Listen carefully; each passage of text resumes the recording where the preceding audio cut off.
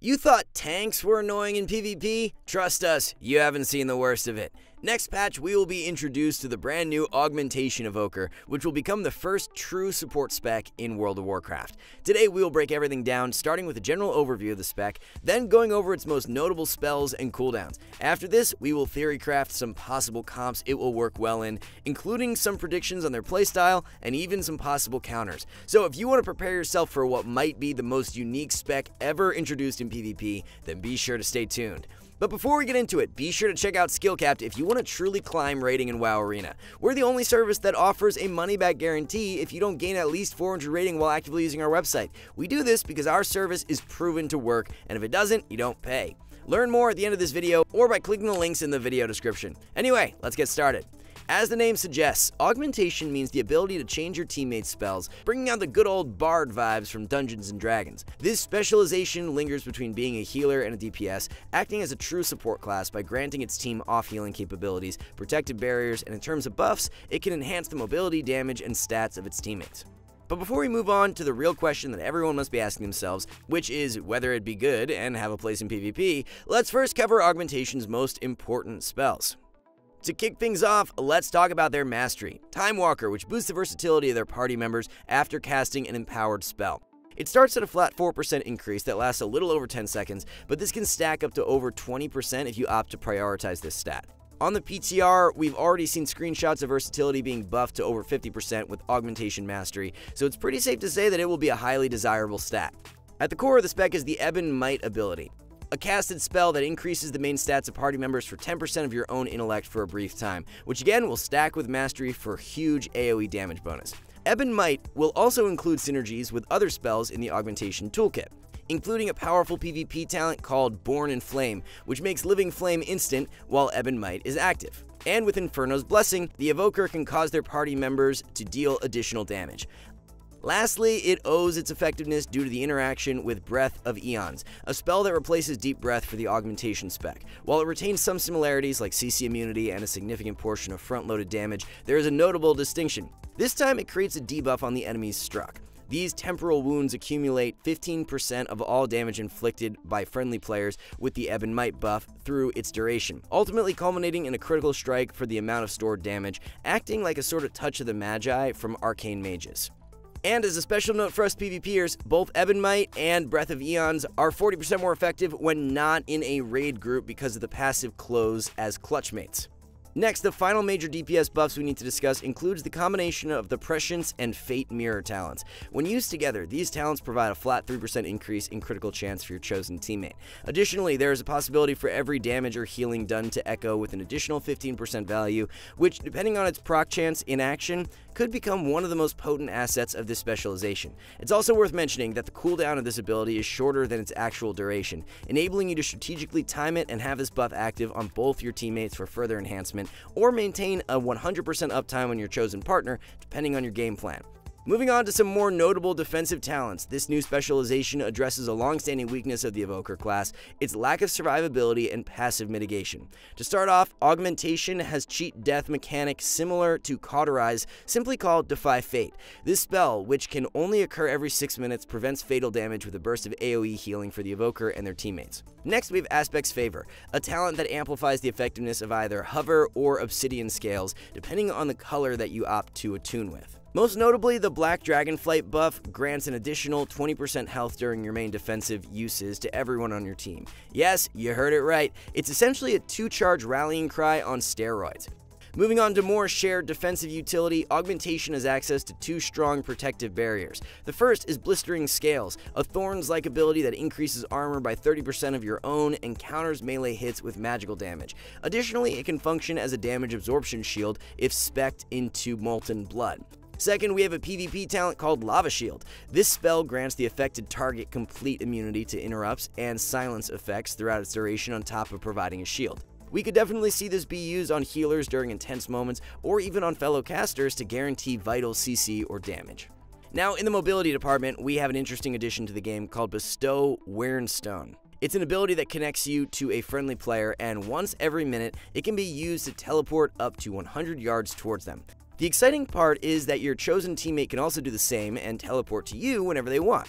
Furthermore, the Talent Spatial Paradox might prove to be an incredibly broken spell in capable hands. It's a temporary buff that can only be used on healers and adds an additional 40 yard range to most spells, and granting the ability to cast while moving for 10 seconds. Yes, that's right, an additional 40 yards on some spells, which will mean being able to cast on targets on the other side of most arena maps. And lastly, in the notable spells department, we have a familiar one, Dream Projection, which you should already know from Preservation. It's important to note that this spell does some serious healing, and it's an AoE magical dispel, offering a possibility for the Augmentation Evoker to dispel their own healer out of CC. Now let's finally address the burning question regarding its viability in PvP and theorycraft about the compositions augmentation evokers might excel in.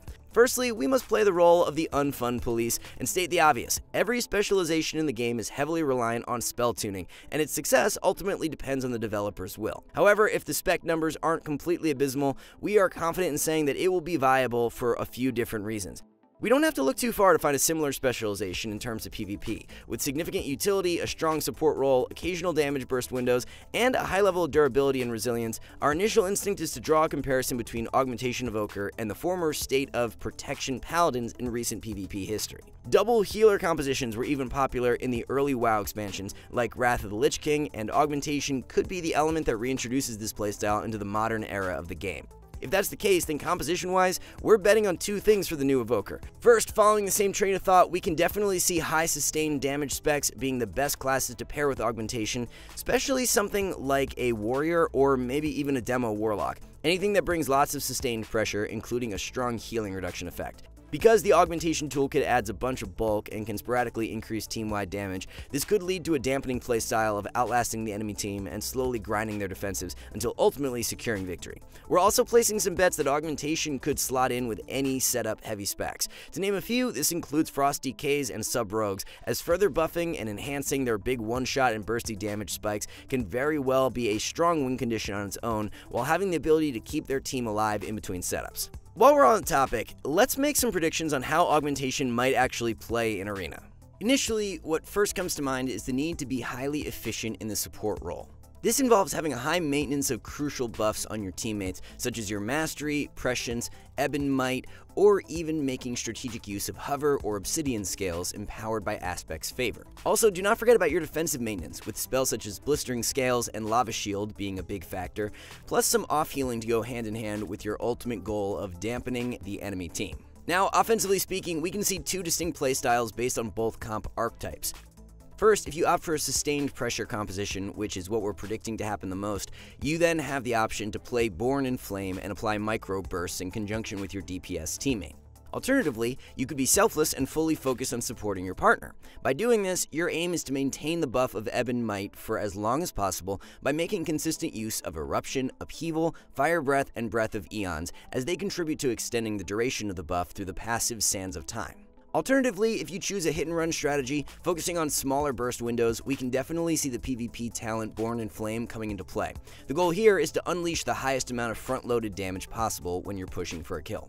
This way, during the duration of your Ebon Might buff, you'll want to activate all your aggressive cooldowns and spam Living Flame as much as possible. This approach aims to maximize your damage output while making it challenging for opponents to shut you down. This playstyle revolves more around assisting in kill opportunities with your own damage. It's hard to predict how efficient these playstyles will be in Solo Shuffle. While Protection Paladins have their own bracket without any healers in it, it's difficult to envision Augmentation thriving in a free-for-all battle and achieving success when its toolkit is based on coordinating abilities with their team. It may seem like augmentation is broken, but we think there might be some clear ways to exploit its potential vulnerabilities. Firstly, it is important to mention that many of its spells and talents appear to be balanced around a 5-man group and a PvE environment. This might result in them being somewhat undertuned for ranked 3v3 matches and solo shuffle, considering the smaller group size in those content types. Secondly, since this specialization heavily relies on hard casts, our primary countermeasure is to ensure interrupting the augmentation evoker often. It's unclear whether precognition will remain in the game next season, but but if it does, this will be another mechanic worth playing around. To delve further into the details, both of the specialization's main damaging abilities, Eruption and Upheaval, have long casting times and belong to the same spell school. This implies that interrupting one of them also prevents the casting of the other. The same applies to the Augmentation Evoker's core spell, Ebon Might, which we previously emphasized its importance. And as a bonus, all three of these spells are in the same spell school as Obsidian Scales, their primary and most powerful defensive cooldown. As far as surviving against augmentation evokers is concerned, it will likely be recommended to trade defensives as soon as possible in response to each burst from the enemy evoker's teammate. Since the evoker's primary objective is to support and enhance their party members, if you effectively trade cooldowns against their ally, their main win condition will be severely compromised. Finally, we must warn you to expect long games against augmentation evokers and play for maximizing AoE pressure if possible, since most of their defensive toolkit and off healing is single target, and by doing so, you assure high pressure and damage output, which can allow you to win the mana wars. To summarize everything, we can definitely see the new Evoker specialization being competitive in PvP as the first true support role. With the potential to add multiple damage modifiers to their team and with lots of unique utility options, Augmentation will likely play well with high sustained damage classes, potentially pushing games into deep dampening and trying to squeeze out wins by overwhelming enemy healers with damage. But we want to know what you think. What are your predictions for the new Evoker spec? Do you think it will be viable in PvP? Let us know in the comments below. And while you're doing that, if you want to gain rating fast this season, we have some amazing new courses which can only be found at skill-capped.com. This includes brand new Master and Minutes guides for every role, which condense years of game knowledge into bite-sized pieces. We even have a new Buff Knowledge course, which teaches you what to look out for and how to dispel against every class. We're also updating class courses every week, including a redesign to all of our damage and healing guides in 10.1 with a brand new learning experience, which includes new micro commentaries and Master and Minutes guides, where you can learn all the tricks on how to min max max. So if you want to stay ahead of the meta and get the rating you've always wanted, then take advantage of our rank up guarantee and learn more about Skill Capped by visiting the links below. Anyway, that wraps it up for this one. As always, we want to thank you all for watching. See you soon.